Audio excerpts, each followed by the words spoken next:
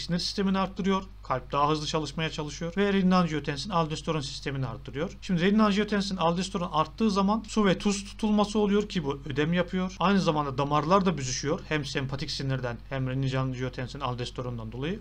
Bu da periferal rezistansı yani direnci arttırıyor. E, bu direnç arttığı zaman ne oluyor? Arka yük iyice artmış oluyor. Yani bizim periferik basıncımız arttığı için kalbin gönderebileceği kan iyice azalıyor. Bu sefer iyice kalp yetmezliği oluyor.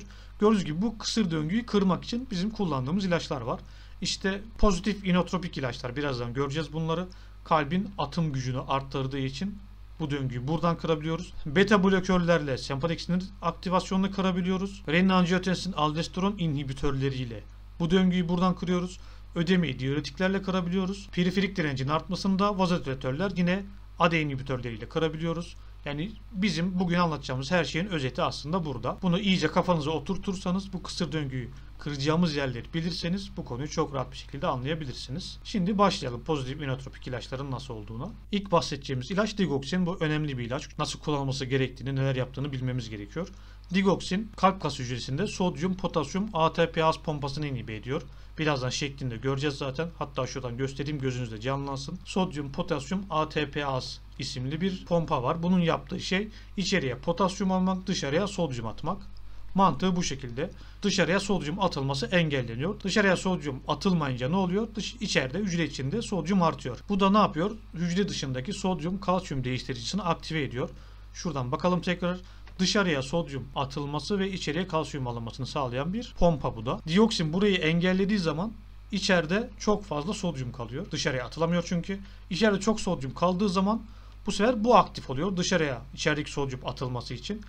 Dışarıya sodyum atılırken içeriye kalsiyum almak zorunda kalıyor hücre. Bu da içerideki kalsiyumun artmasını sağlıyor. Kalsiyum neydi? Kasardı. Hücredeki kalsiyum arttığı zaman kasılma potansiyeli artıyor. Daha güçlü kasılmasını sağlıyor. Bu şekilde digoksinin yaptığı etki bu şekilde. Ama bunun şöyle bir durumu var. Diğer demin baktığımız ilaçlar gibi yaşam süresinin arttığı gösterilememiş. İyi güzel bir ilaç ama çok çok faydalı diyebildiğimiz bir ilaç değil. Ve riskli bir ilaç. Terapötik aralığı dar. Yani terapötik indeksi düşük. Bu yüzden çok dikkatli kullanmamız gerekiyor bu ilacı. Bu terapötik aralık ve terapötik indeksin farkını size anlatmıştım hatırlarsanız. Bu ilacın olması gerektiği aralık 1 ve 2 nanogram bölü mililitre. 2 nanogram bölü mililitrenin üstü kesinlikle toksik olduğu için genelde 1 civarında tutulmaya çalışılıyor. Ama bu ilacın şöyle bir durumu var takip edilmesi gerekiyor. Çünkü büyü yaralanıp kişiden kişiye çok farklılık gösteriyor. Mesela örneklerden birisi toplumun %10'undaki insanların bağırsaklarında Eubacterium isimli bir bakteri var. Bu bakteri digoksinin etkisiz hale getiriyor. Eğer sizde bu bakteriden varsa digoksinin biyoyaralanımı düşüyor sizde. O yüzden takip edilmesi gerekiyor digoksin kullanan kişiler ve özellikle bu kişilerde, bu hastalarda antibiyotik tedavisi uygularsak öbakteriyumlar ölüyor. Bu sefer digoksin zehirlenmesine neden olabiliyor.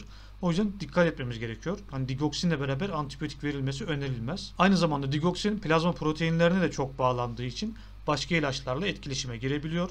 Dikkat etmemiz gereken bir ilaç o yüzden. Şuradan şeyine tekrar bakalım. Bakmıştık zaten. Sodyum, potasyum, ATPaz pompası inhibe olunca içeriye potasyum giremiyor.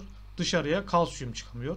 Bu digoksin potasyumun bağlandığı yere bağlanıyor. Bunu da bilmemiz önemli ve geri dönüşlü olarak bağlanıyor. Birazdan digoksin zehirlenmesinde bakacağız, bahsedeceğiz bundan. Yani bu ne demek? Muhtemelen fark etmişsinizdir. Potasyumun bağlandığı yere geri dönüşlü bağlandığına göre ortamda potasyum çok fazla olursa digoksin bağlanması azalacak. Potasyum bağlanacak. Yani hiperkalemi varsa birinde potasyum çok yüksekse digoksinin etkisi düşebiliyor. Bunu bilmemiz önemli. İçeriye potasyum giremedi, dışarıya sodyum çıkamadı. İçeride çok fazla sodyum arttığı için sodyum kalsiyumla yer değiştirdi. İçeride kalsiyum arttı. İçeride kalsiyum arttığı için de geçen derslerde bahsetmiştim kalsiyum troponinle aktif hale geliyor troponin kenara çekiliyor. Miyozinin başı aktine aktif edip kasılmayı gerçekleştirebilir. İçeride kalsiyum çok fazla arttığı için digoksinin etki mekanizması bu şekilde.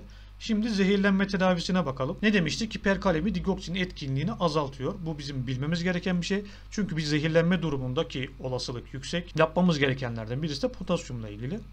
İlk yapmamız gereken digoksini kesmek bir kere. Yani digoksinin vereceği zarar kalp yetmezliğinin vereceği zarardan çok çok daha fazla olduğu için digoksini direkt kesiyoruz. İkinci yapmamız gereken şey eğer diüretik gibi potasyumu azaltan ilaçlar kullanıyorsak bunları kesmemiz gerekiyor. Ortamda potasyum azsa digoksinin etkisi artacaktır. Demin de bahsettiğimiz gibi eğer bu ikisi işe yaramadıysa bu sefer potasyum vermek gerekiyor. Ortamdaki potasyumu arttırırsak digoksini bağlandığı yerden kovacağı için digoksinin etkisi azalacaktır. Digoksinin yan etkilerinden birisi aritminojen olması yani aritmiyi arttırabilir. Ritim bozukluğu yapabilir kalpte.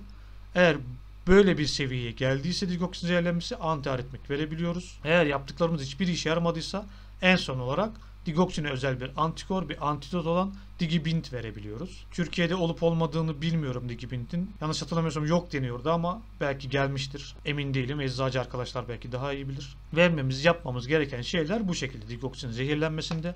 Digoksin kısaca böyle. Bugün öğreneceğimiz yeni şey aslında buydu. Milrinon'dan zaten bir önceki derste bahsetmiştik. Fosfodiesteraz 3 ve 4'ün inhibitörü milrinon. Fosfodiesterazlar ne yapıyordu? Siklik AMP'yi yıkıyordu. Bunları inhibe ettiğimiz zaman siklik AMP'nin yıkılması önlenmiş olacak. Siklik AMP yıkılamadığı zaman da kalbin kasılması artacak siklik AMP üzerinde. Bunlardan bahsetmiştik. Milrinon damar içi infüzyonla veriliyor. Yani ağızdan bir alım söz konusu değil. Bundan sonra bahsettiğim bütün ilaçlar IV veriliyor. Milrinon sadece akut yetmezlikte kullanılan bir ilaç. Uzun vadede kullanımı önerilmiyor. Hatta uzun vadede ölümleri arttırıldığı göstermiş. O yüzden sadece akut yetmezlik varsa o anı kurtarmak için verebiliyoruz. Aritmojen bir ilaç. Bu aritmiyi arttırabiliyor. Aynı digoksinin yaptığı gibi Milrinon bu şekilde. Dopamin ve doputamin var. Bunlardan yine bahsetmiştim. Doputamin beta 1 adrenerjik reseptör agonisti. Düşük dozda verdiğimiz zaman kalbin hızını az arttırıyor ama atış hacmini çok arttırıyor. Bu yüzden güzel bir ilaç. Yine aynı Milrinon gibi damar içi infüzyonla veriliyor ve sadece akut yetmezlikte kullanılıyor bu ilaç. Dopamin var. Bundan da bahsetmiştim. Dopamin normalde D1 ve D2 reseptörlerin agonisti.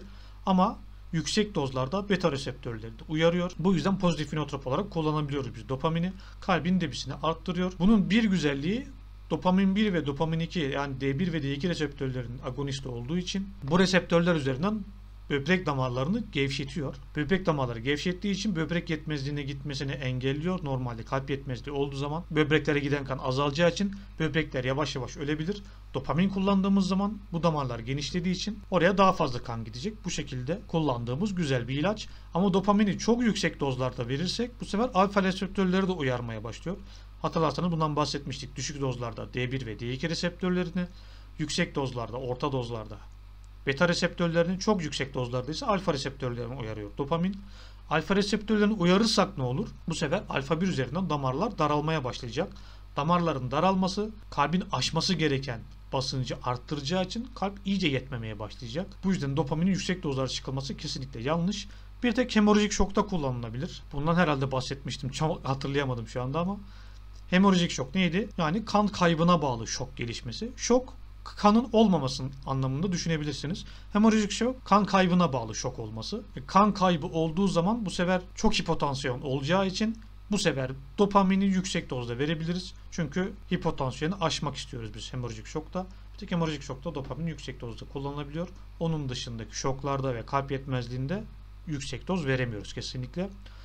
Bugün yeni öğreneceğimiz ilaçlardan birisi de nesiritit. Nesiritit B tipi natriüretik peptit. Bu kalbin ürettiği A tipi natriüretik peptide benziyor. Yani ANP ve BNP diye. Normalde kalp hasar gördüğü zaman, kalp yetmemeye başladığı zaman kalp otomatik olarak ANP isimli bir peptit üretiyor. Bu natriüretik peptit adı üstünde yani natriürez yapıyor. Bu ne demek? Yani natrium dediğimiz şey Na, tuz. Üretik ise idrardan anlamına geliyor. İdrarla ilişkili anlamına geliyor.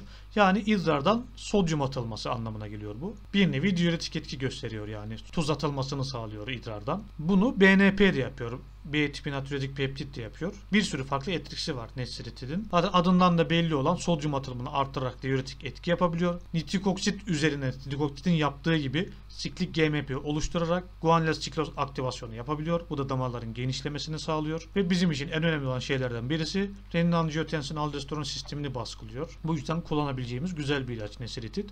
Bu ilaç da yine diğerleri gibi damar içi infüzyonla verilen bir ilaç. Nesiritit ile bahsedeceğim şeyler de bu kadar. Bugün kalp yetmezliğini gördük. Çok özet bir şekilde bu şekilde kalp yetmezliği. Normalde çok çok uzun bir konu ama hızlı bir şekilde geçip size işin mantığını anlatmaya çalışıyorum. Umarım faydalı oluyordur. Bundan sonraki videoda antiaritmiklere geçip kardiyovasküler sistemi bitireceğiz. Ondan sonra da böbrek ilaçlarına bakacağız. O zaman şimdilik bu kadar diyelim. İzlediğiniz için teşekkürler. Sol taraftan kanalıma abone olabilir. Sağ taraftan da hızlı farmakoloji serisinin diğer videolarına bakabilirsiniz. İzlediğiniz için tekrar teşekkürler. Görüşmek üzere.